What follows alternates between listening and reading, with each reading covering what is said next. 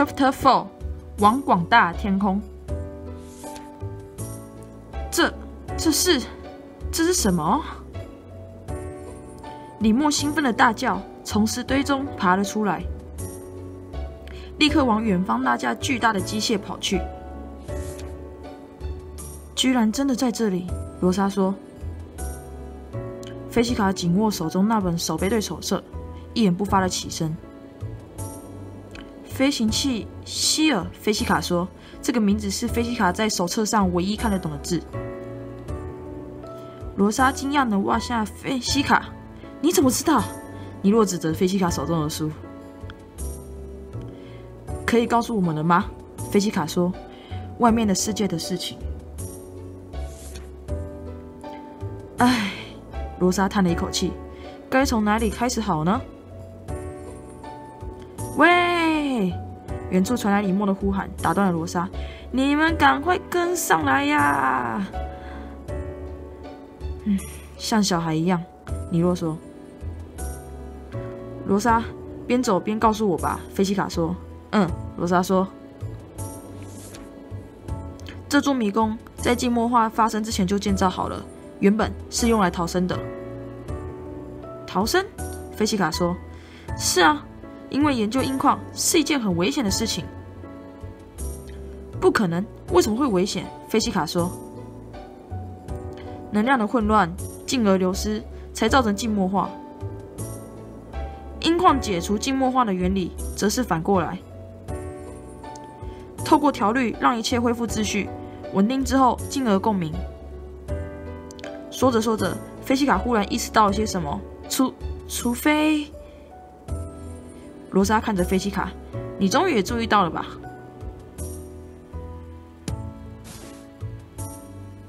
？”Hello，一般，我是维维。今天我们要继续来玩《拉诺塔》这款游戏，而这一次呢，我们来到了第四章“往广大的天空”。对，没错。那么在这一章当中，应该是能够透露关于这个世界更多的一些东西。那我们就来玩吧。我们活在静默化之中，能量混乱。这个时候，透过调律音矿，能让世界恢复。罗扎说。尼洛接着说：“但如果是在静默化还没有发生的时候呢？”就在这个时候，前方传来尼莫的大喊：“哇，这一道光网是怎么回事？能量好强烈！看来得要调律才能继续前进了。”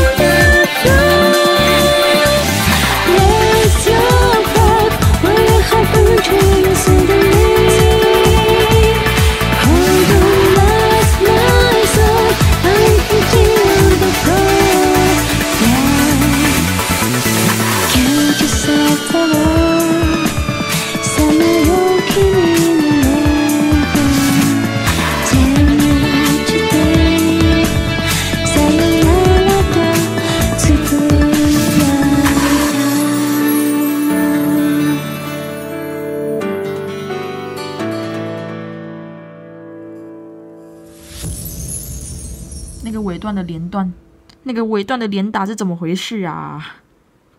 有吓到，有吓到。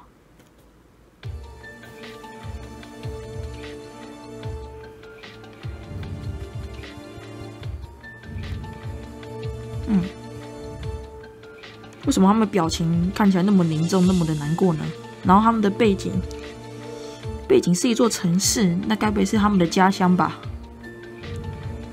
六六六，我的哈，我的哈米居然是六六六，这么刚好。秩序带来能量，你若说。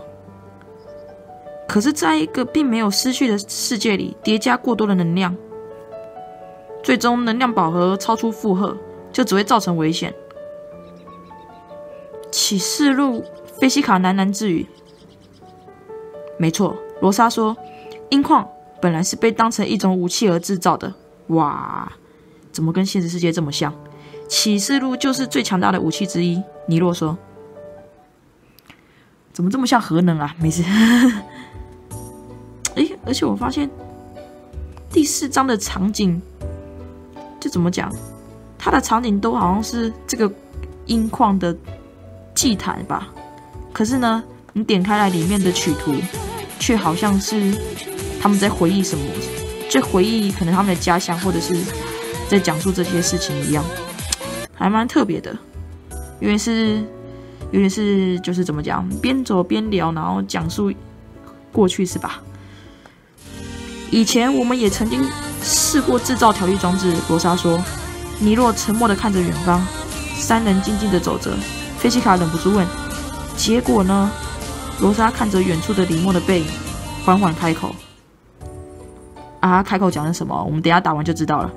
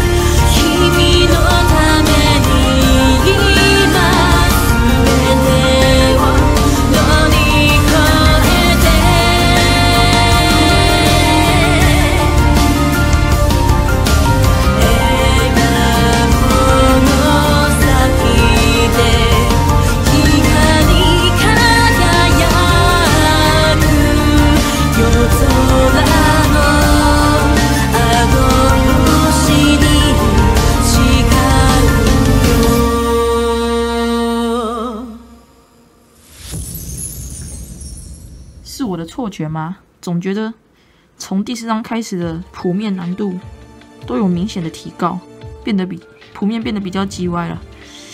哇，果然越后面的章节难度真的是有出来啊。OK，我打等等，这才十一等的歌已经有一零四零了，哇哦，一零四零个音符。结果啊，罗莎说：“我们并没有李默的那种才能。”你是说打音键的才能吗？李默的才能？菲西卡说：“失败了。”尼洛说：“这。”罗莎一脸不愿提起的样子。我们失败了，尼洛说。所以之后。罗莎迅速接着说，似乎不想让话题停留在原本的地方太久。我们才会离开村庄，加入沉默边境守备队。哦，所以那那那真的是他们的村庄，他们的家乡。想补偿？尼洛说不是。罗莎反驳。想赎罪？尼洛说不是。罗莎反驳。因为罪恶感？尼洛说才不是。罗莎大声的反驳。这下子轮到菲西卡沉默了。音矿管理局的所有资料都记载，静默化吞噬了整个世界，只剩下我们的村子。他静静的想着，觉得好像有什么被隐瞒了。喂喂，李默回头想加入对话。你们刚刚说到了守备队，那到底是什么呀？一个组织。罗莎说：“维持世界的静默化。”纳尼？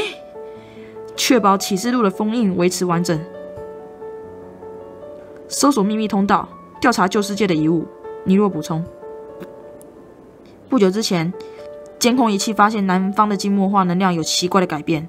罗莎说：“所以，我我们被派来这里侦查情况。循着地图，就走到了这座地底迷宫附近，然后碰到你们。”尼洛说。碰到正要把武器封印给解开的你们，罗莎大声说：“哇，好可怕！”尼洛被罗莎认真的语气吓到。我靠，这个剧情超展开啊！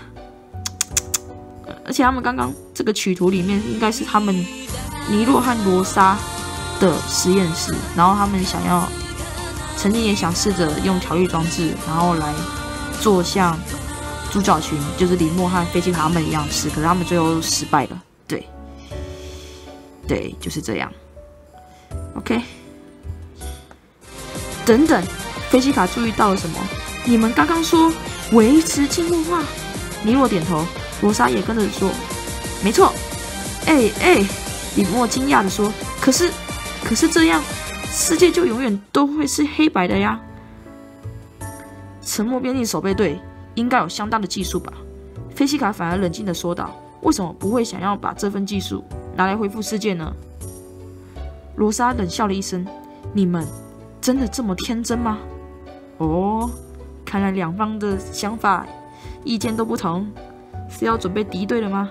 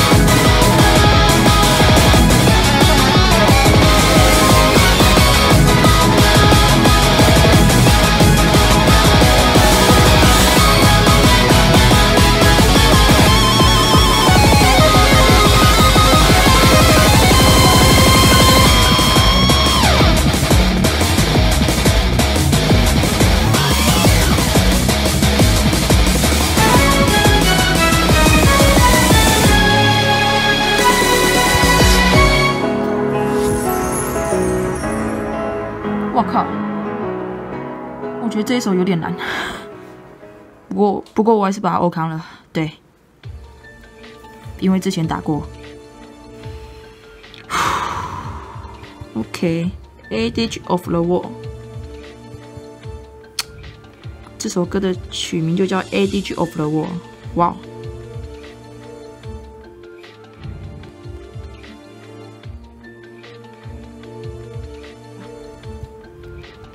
然后我觉得这张曲图好帅哦，这是两方两方角色群的那种内心想法的对峙吧。然后，而且那个什么两位男生，他们手上手上还拿着那个银矿，怎么这么中二啊？啊！就算有过人的能力，罗莎说，但就凭两个人。你们真的以为可以恢复全世界吗？可是，难道你们就完全坐视不管吗？李默有点焦急，也有点生气。到底沉默边境守备队是怎样的组织？为什么要维持静默化？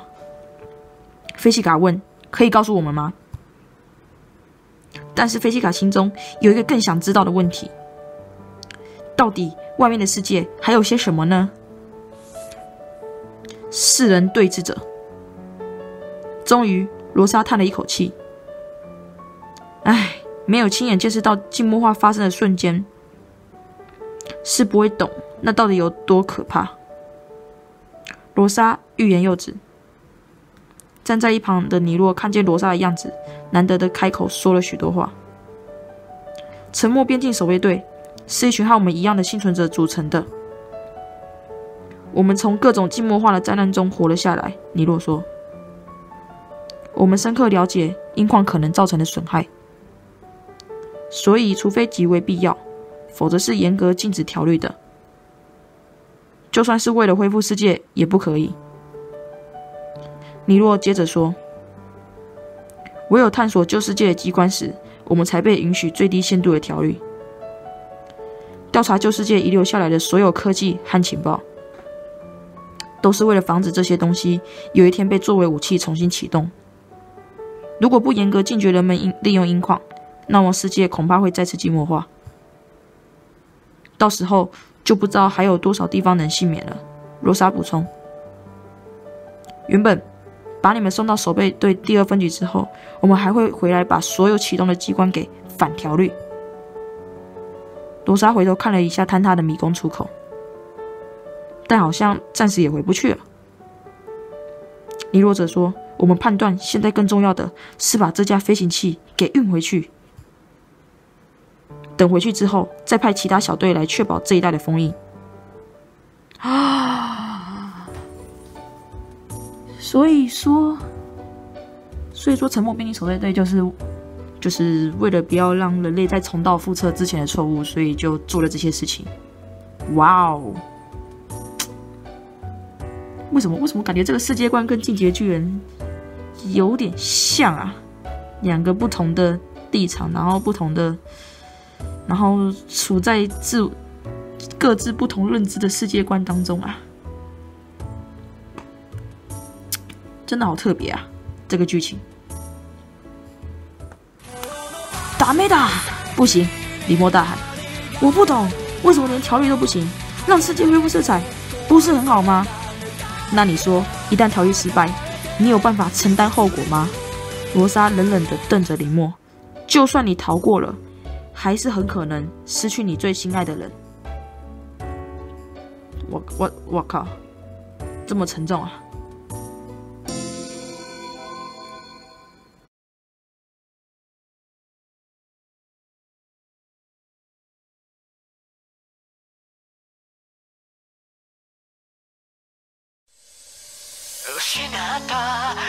悲しみはいつか言える通り乗ってる。手を合わせモノクロの世界に向かう。似合うて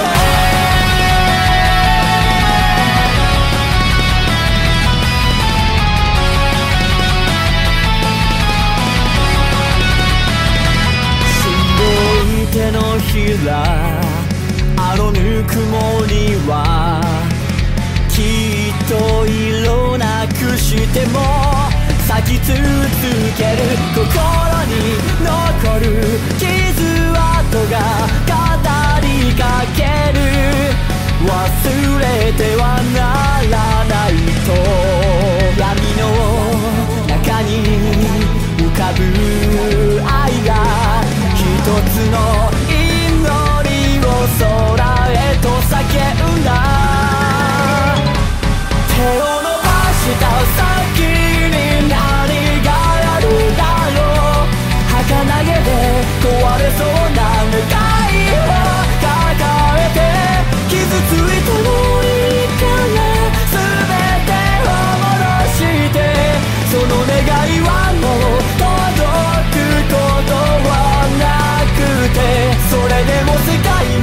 中に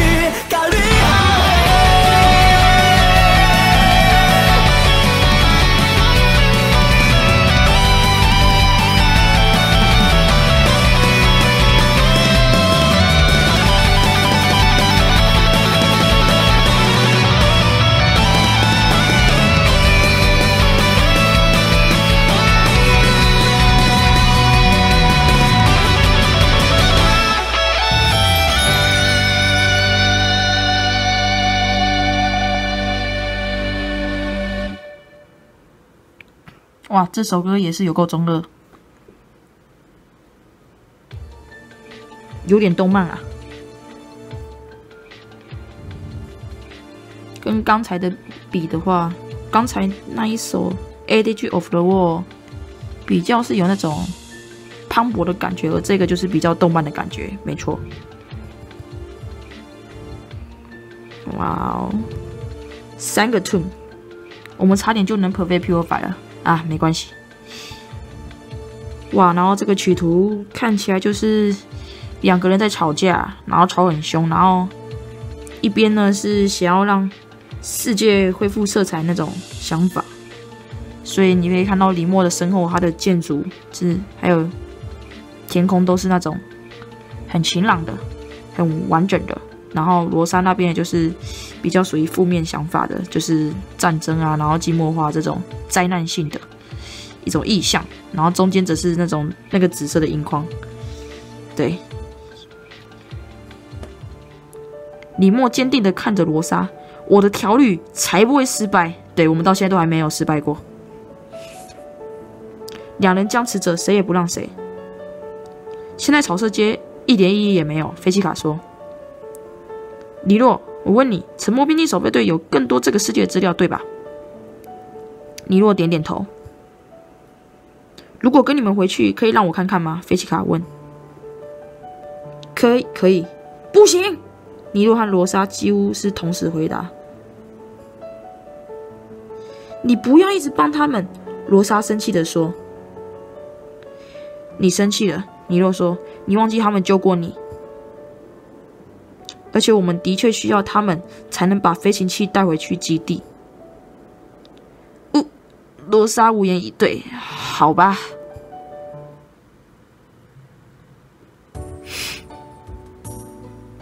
看来我们还是有人会比较理性啊。对，尼洛、尼洛和菲奇卡的比较理性，然后李默和罗莎就对很容易争吵。OK。既然你那么爱条律。就试着重新启动这台飞行器吧，罗莎挑衅地说。要怎么做？菲西卡问。这里的原理和迷宫中一样，尼洛说。特殊共鸣。没错，罗莎说。解开这最后一道锁的同时，也会造成引擎的巨大共鸣。只要能够调律成功，我们就能飞往天空。飞往天空，李默说。看我的。哦，这时候有十三等。然后，然后我感觉打完这首就是打魔王曲了，就是传说中那个万恶的飞船啊，乐色飞船打起来。不过我们要先打完这首就对了。Portal Freak 开始。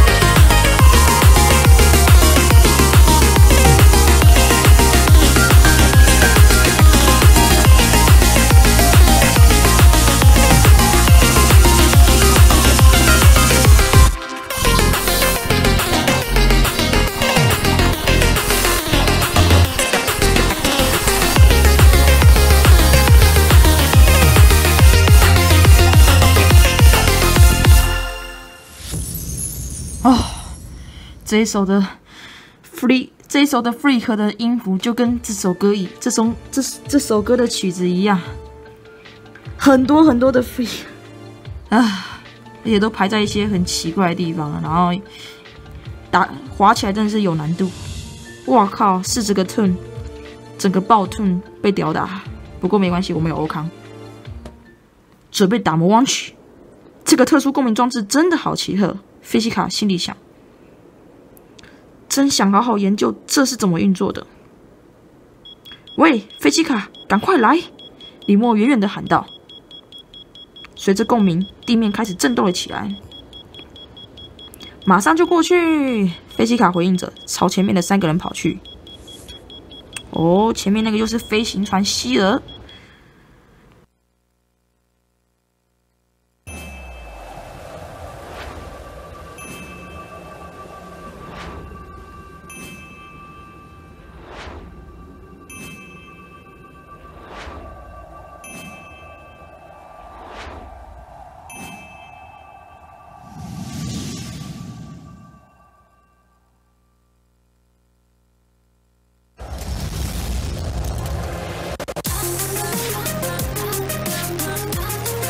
What the fuck?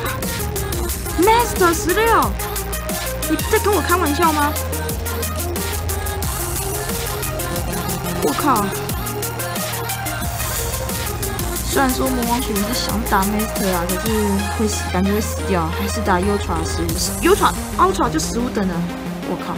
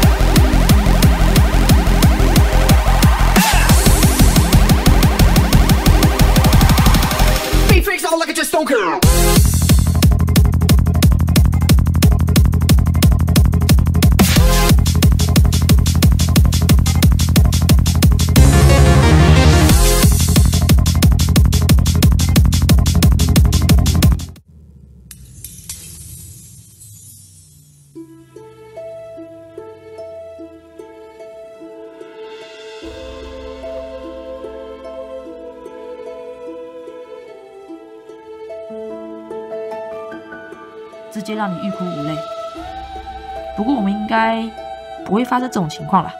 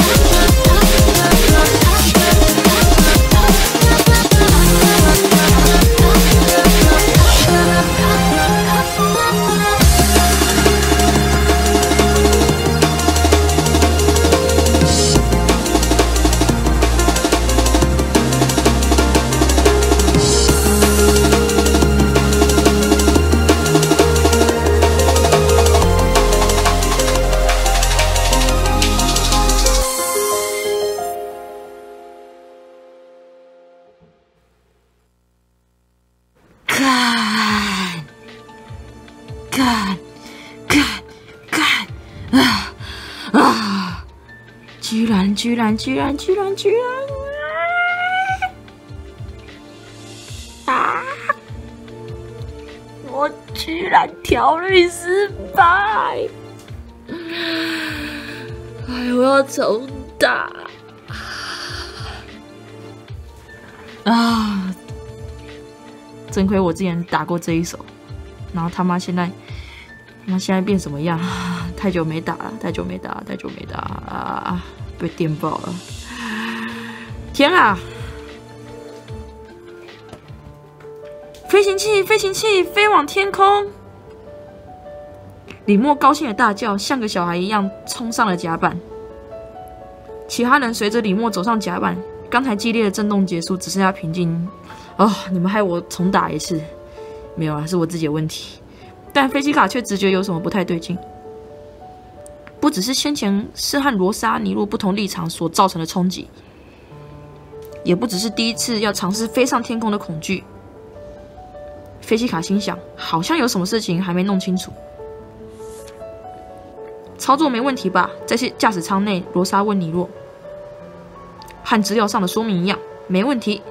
尼洛说：“嗯，那交给你了，先开回守备队的本部吧。”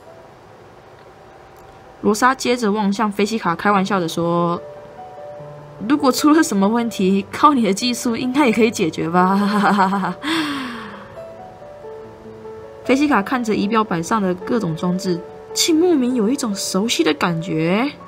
哇，菲西卡你是怎样？那么准备起飞喽！罗莎下了指令。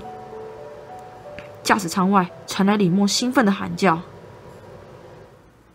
飞机卡竟有种莫名熟悉的感觉。章节过关，未完待续，旅程暂时告一段落，敬请期待下一章节更新。哇，真不晓得等到下一章要什么时候呢？好啦，如果说你喜欢我。这系列以来的拉诺塔影片的话，欢迎你就是在下方可以按个赞，然后可以订阅我的频道，记得开启小铃铛。那也可以在下面留言，那鼓励我。那 之后呢，拉诺塔如果有更新的话，我也会继续玩的。我会在第一时间就玩它，对，所以可以稍微期待一下。那么这次游戏就玩到这边喽，大家拜拜。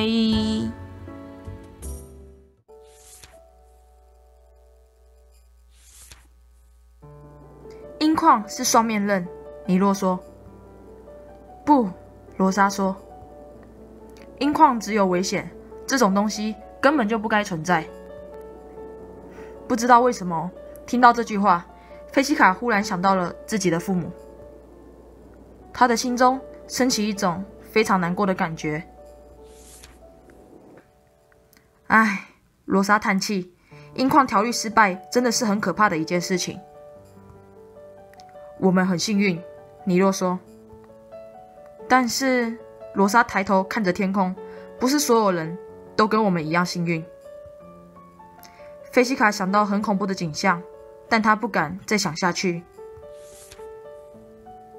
难道非得对立不可吗？有一瞬间，四个人的心中都闪过了这个念头。罗莎想着，哼，虽然。你说的也不是大话，李默想着，我绝对绝对会保护你。